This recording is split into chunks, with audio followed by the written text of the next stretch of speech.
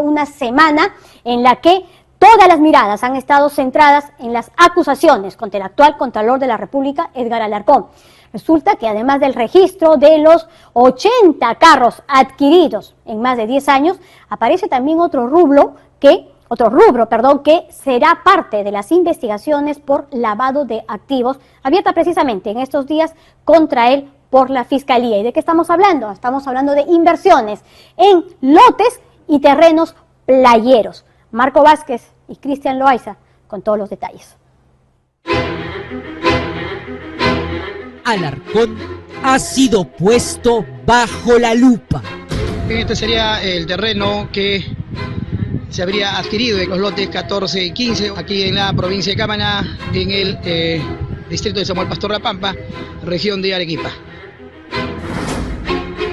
La investigación al Contralor que puede sacarlo por la puerta falsa se resume finalmente en la extra actividad lucrativa y prohibida de vender autos siendo vicecontralor. Sin embargo, algo indicaría que no solo fueron autos. Este terreno que adquirió el Contralor de la República cuando fue gerente eh, ha sido eh, vendido a otros empresarios quienes ya se instalaron aquí en esta localidad.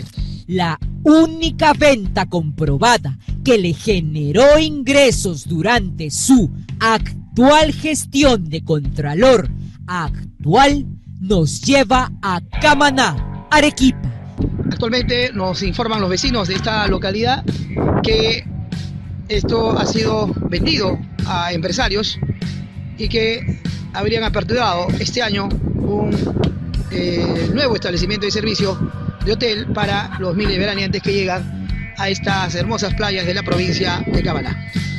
Este es el bollante Hotel Costa Sur en el prometedor balneario Arenillas de Camaná. Increíblemente el hotel y su avance y un actual congresista, Pepe Causa. Por Dios, por la patria, por los más pobres del Perú, sí juro.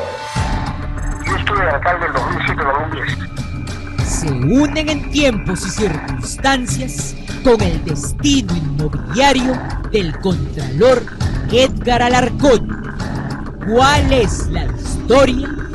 Ahora en Panorama.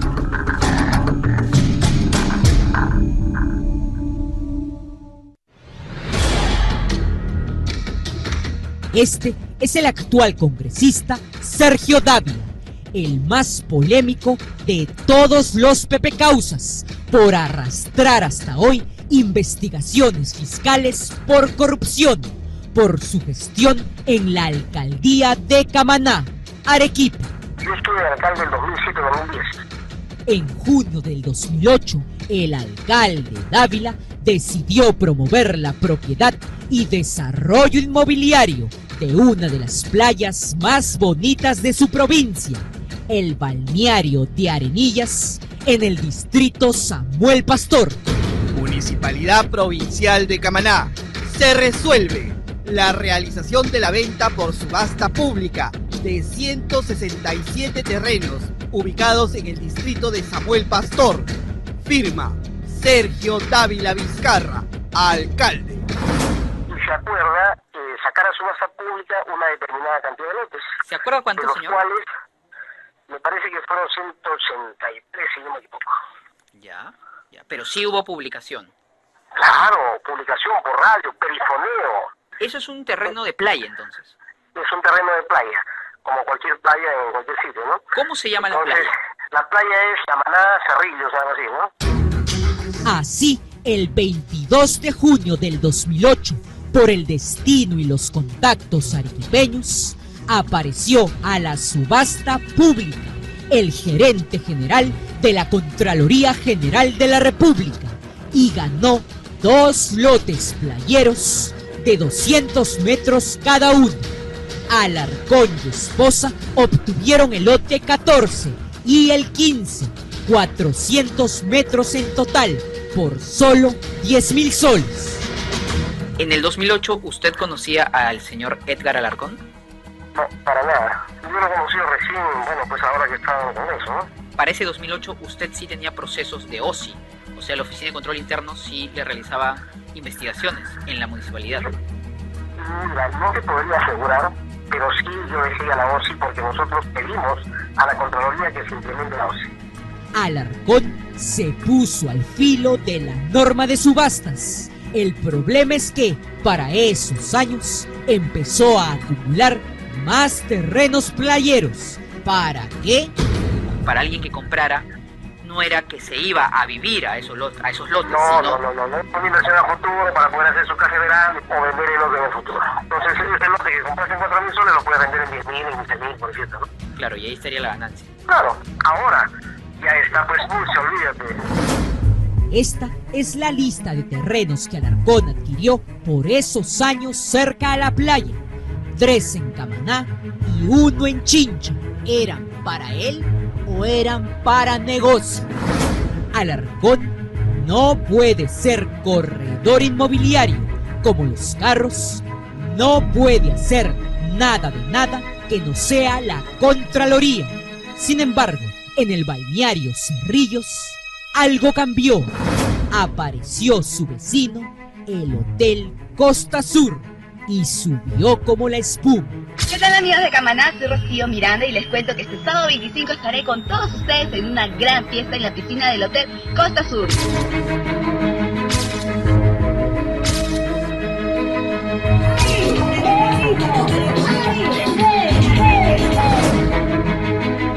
El Costa Sur avivó la zona, valorizó la cuadra cerca a la playa. ¿Qué pasaría? Esta es la declaración de autovalúo de Alarcón. En diciembre del año pasado, aquí aparecen sus pagos por sus tres lotes playeros en Camaná. Alarcón podía o no podía vender y ganar como los carros por ser contralor. Una inversión a futuro para poder hacer su caja de verano o vender el lote en el futuro. Claro. Entonces, ese lote que compraste en 4 mil soles lo puedes vender en 10 mil, en 15 mil, por cierto, ¿no? Claro, y ahí estaría la ganancia. Claro, ahorita ya es un balneario. Pero en aquel tiempo. balneario. Ahora ya está pues mucho, olvídate. El 27 de diciembre del año pasado, 2016, según este documento que lleva su firma, el Contralor de la República vendió sus dos lotes playeros al Hotel Costa Sur. Este terreno que adquirió el Contralor de la República cuando fue gerente, hoy eh, ha sido eh, vendido a otros empresarios quienes eh, ya se instalaron aquí en esta localidad. En manzana de lote 15 y lote 14, aquí en Cerrillos 1, en la provincia de Camaná, en el distrito de Samuel Pastor La Pampa, en la región de Arequipa. Actualmente nos informan los vecinos de esta localidad que esto ha sido vendido a empresarios y que habrían aperturado este año un eh, nuevo establecimiento de servicio de hotel para los miles de veraneantes que llegan a estas hermosas playas de la provincia de Cabalá. Como se ve, el lote 15, por ejemplo, es ahora el terreno que el hotel necesitaba para su estacionamiento y expansión. Fuentes de la municipalidad aseguran que, aunque poco, el precio del terreno se cuadruplicó respecto al 2008 para esa venta. Desde Contraloría han dicho que una invasión documentada a su terreno condujo al Contralor a la imperiosa necesidad de vender y que, como los autos, se tratan de ventas particulares sin ánimo de lucro. Una inversión a futuro para poder hacer su caja de verano o vender en el futuro.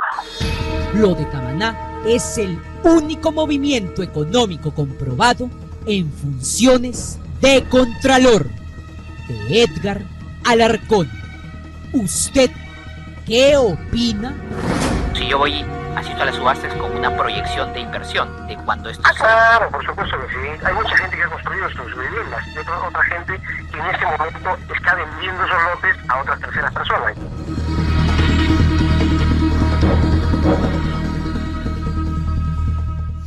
Bueno, el punto central aquí es que uno de los requisitos establecidos para el cargo de Contralor de la República y que está bien señalado es ser intachable. Entonces, más allá de que se detecte una, actividad ilegal o algún tipo de, de, delito, o incluso en el caso de lavado de activos, probablemente, probablemente en todas las inversiones lo determinarán, por supuesto, las investigaciones de la Fiscalía, no hubo dinero sucio, pero podía realizarlas desde su puesto de vicecontralor, había incompatibilidad o no.